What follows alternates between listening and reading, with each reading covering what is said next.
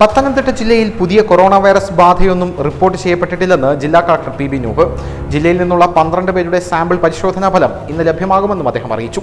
അതേസമയം വീടുകളിൽ നിരീക്ഷണത്തിൽ കഴിയുന്നവർ പുറത്തിറങ്ങിയാൽ പോലീസ് നടപടി ഉണ്ടാകുമെന്നും കളക്ടർ മുന്നറിയിപ്പ് നൽകി. നിലവിൽ പത്തനംതിട്ട ജില്ലയിൽ തൊള്ളായിരം ആൾക്കാരാണ് വീടുകളിൽ നിരീക്ഷണത്തിൽ കഴിയുന്നത്. ഇരുപത്തിയെട്ട് ആളുകൾ ആശുപത്രിയിലുമുണ്ട്. ഇതിൽ രോഗബാധ സ്ഥിരീകരിച്ചത് ഏഴുപേർക്കാണ് രോഗബാധിതരുമായി ഇത്രയധികം ആളുകൾ ഇടപഴകിയിട്ടുള്ളതുകൊണ്ട് രോഗബാധ സംശയിക്കുന്നവരിൽ കുറച്ചാളുകൾ കൂടി രോഗലക്ഷണങ്ങൾ പ്രകടിപ്പിച്ചേക്കാമെന്നാണ് കരുതുന്നത്. അങ്ങനെയുള്ളവരെ ഐസൊലേഷനിൽ പാർപ്പിക്കാനുള്ള സൗകര്യം തയ്യാറാക്കിയിട്ടുണ്ടെന്നും ജില്ലാ കളക്ടർ വ്യക്തമാക്കുന്നു. അതേസമയം പ്രവാസികളുടെ യാത്രാവിലക്ക് ഗൗരവമുള്ളതാണെന്ന് മുഖ്യമന്ത്രി കൊറോണയുടെ പശ്ചാത്തലത്തിൽ പറഞ്ഞു. വിദേശ രാജ്യങ്ങളിൽ നിന്ന് ഇന്ത്യൻ പൗരന്മാർക്ക് മടങ്ങാൻ കഴിയാത്തത് ഗൗരവമുള്ള പ്രശ്നമാണെന്നാണ് മുഖ്യമന്ത്രി പിണറായി വിജയൻ എടുത്തുകാട്ടിയത്. കേന്ദ്ര സർക്കാരിന്റെ സർക്കുലറാണ് ഇതിനുള്ള കാരണമെന്നും ഇത് ഉടൻ പിൻവലിക്കില്ലെന്നും അദ്ദേഹം ആവശ്യപ്പെട്ടു. രോഗിയായതുകൊണ്ട് കൈയൊഴിയുമോ എന്നും മുഖ്യമന്ത്രി ചോദിച്ചു. കെ വി അബ്ദുൾ ഖാദറിന്റെ ശ്രദ്ധ ക്ഷണിക്കലിന് മറുപടി നൽകുകയായിരുന്നു സഭയിൽ മുഖ്യമന്ത്രി. പ്രവാസികളുടെ വിലക്ക് നീക്കാൻ കേന്ദ്ര ആരോഗ്യമന്ത്രിക്ക് ഉടൻ കത്തയക്കും.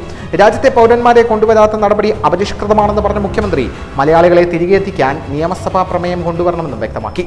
ഗൾഫ് രാജ്യങ്ങളിലേക്കുള്ള വിമാന സർവീസുകൾ നിർത്തലാക്കിയതിനു കാരണം തിരികെ പോകേണ്ടിയിരുന്നവരുടെ തൊഴിൽ നഷ്ടപ്പെടാതെ കാലാവധി നീട്ടി ലഭിക്കേണ്ടതുണ്ട് പല രാജ്യങ്ങളിലും വിദേശയാത്രയ്ക്ക് നിയന്ത്രണങ്ങൾ ഏർപ്പെടുത്തിയിട്ടുണ്ട്. ഇന്ത്യയടക്കം പത്തു രാജ്യങ്ങളിൽ നിന്ന് വരുന്ന യാത്രക്കാർക്ക് മെഡിക്കൽ സർട്ടിഫിക്കറ്റ് കുവൈറ്റ് സർക്കാർ ഉൾപ്പെടെയുള്ള ചില രാജ്യങ്ങൾ നിർബന്ധമാക്കിയിട്ടുമുണ്ട്. News desk Malayalam express news.